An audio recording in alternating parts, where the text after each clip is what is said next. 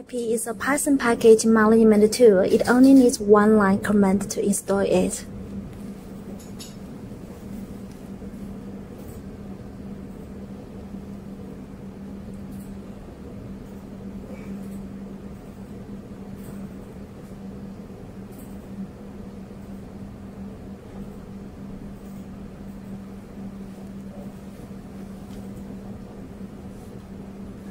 After installation, enter PIP3-V to view the version number.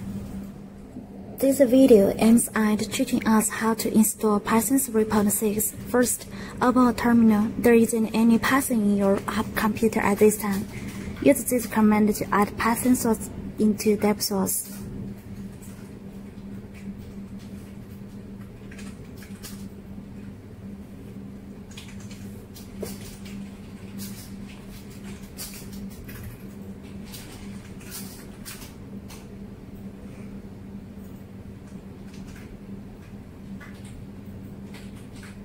We are able to obtain the latest software package through this command.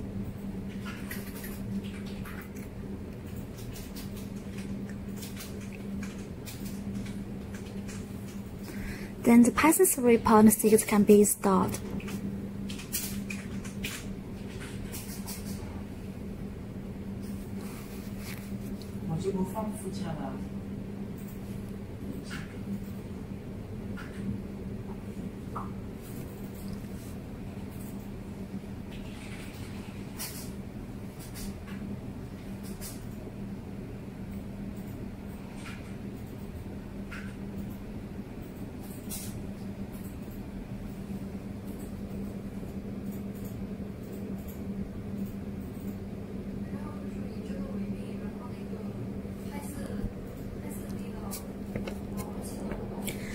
At the time when it is completed, we type Python 3 in the terminal and we can see the version of Python 3 and get into REPL of Python. It means installation is successful. This video shows how to install TensorFlow. Users can install the GPU version according to their own needs. The method is similar. You can use specific parameter to point to a repository URL to accelerate the progress.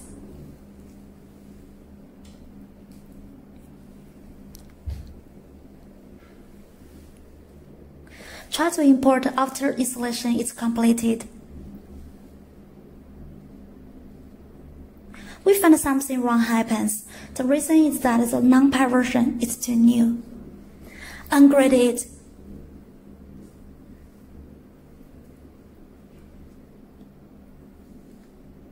And import it again. Without any problem, TensorFlow installation is completed. This video demonstrates the installation of TensorFlow version. First, install CUDA in the current folder. Reprovide the CUDA installation package under the following commands. Keep pressing the space key till the end of the button, and then accept the terms. Enter and refuse install the graphic driver if you have installed before. Enter Y to install CUDA 9.02. Press Enter key to confirm CUDA default installation path. Enter Y or N to install or not install. Point it to the symbolic link of the path. Tap Y to install CUDA samples for later testing. Press Enter key to confirm CUDA samples. Default installation path. Enter the following commands. Open the file, add the path at the end of the file. Save and execute it. Enter the following commands. CUDA installation is completed. Next is to install CUDNN. Also in the current folder, we also provide the CUDNN installation package under the following commands install CUDNN. About the details, please refer to the corresponding part of the user manual. The CUDNN installation is completed. Then we need to install TensorFlow below. Use tab to install under the specific folder. TensorFlow installation is successful.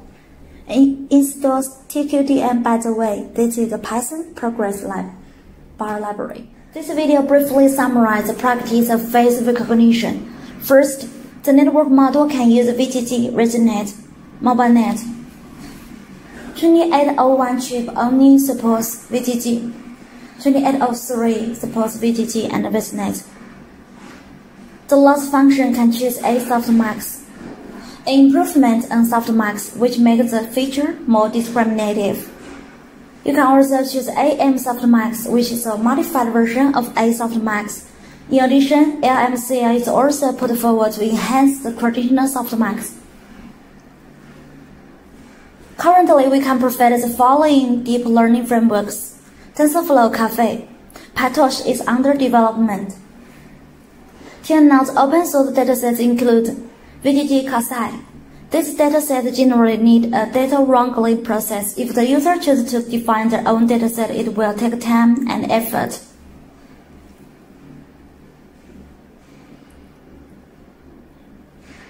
Verify the dataset to choose from, LFW, Megaface, etc.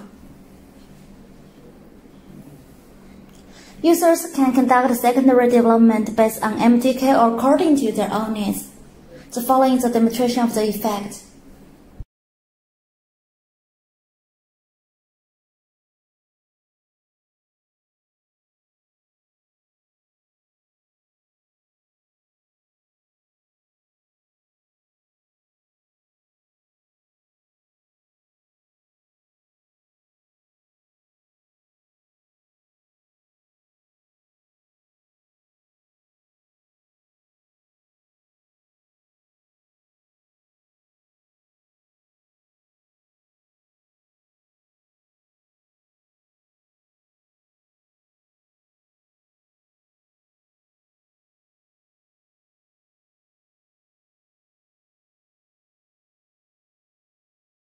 This video briefly summarizes the practice of human pose estimation. First, these are the backbones can be chosen, VGG, ResNet, MobileNet, etc.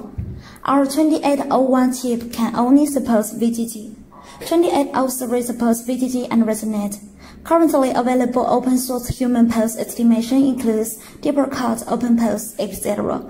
There are several datasets you can use MPII, MS, COCO. Currently, we support deep learning frameworks with TensorFlow and Caffe. PyTorch version is under development. Users can customize our example according to MDK. The process can be found in the training video below is effective of the demo.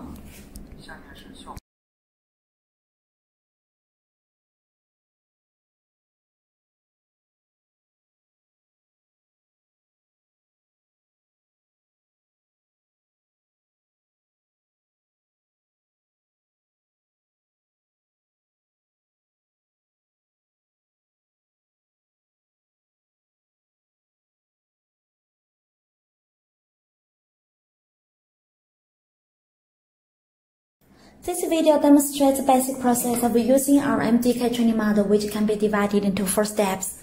First, change the work directory to root directory of MDK in terminal. The first step is to train the complete floating point model.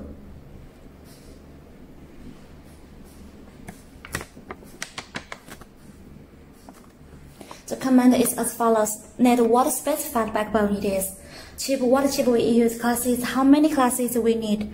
If you have any questions about the parameters, you can use the help option to view each details. The second step is to fine-tune quantize the convolutional layer.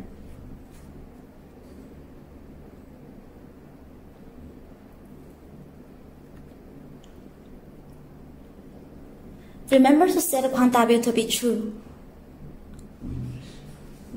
The third step is to fine-tune the quantized activa activation layer.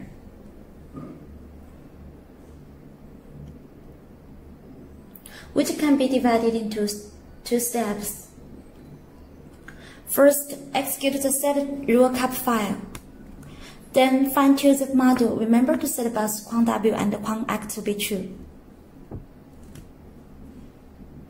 The final step is to fine-tune the model and you need to turn the field switch on. If you find it doesn't converge, you can reduce the learning rate. After about four steps finished, the model training is completed. If you need to use the model on MPU chip, you need to convert the model.